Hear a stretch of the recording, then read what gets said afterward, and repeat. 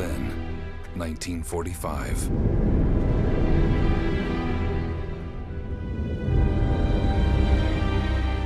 The war is over. A military journalist sent to cover the peace is about to become part of the story.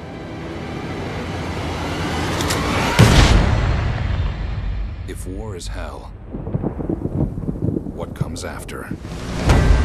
An American serviceman turns up dead on the eve of the peace conference. The Russians want us to go away.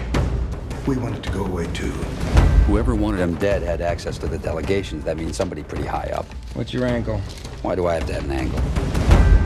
My driver, a kid named Tully. The Americans are looking for him and the Russians. Why? Hey!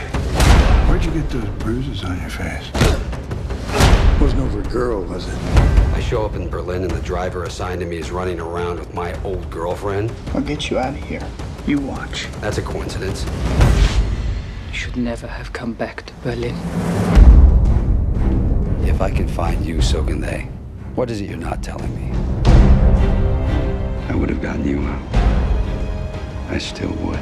You can never really get out of Berlin. You've seen what one bomb can do to a city. That's the future. Future of mankind's in our hands. She's playing you, Jake. You have no idea what you're dealing with. Who got to you? I'm gonna know. You find that girl. We'd like to talk to her. Get out now. Go. Before you get hurt.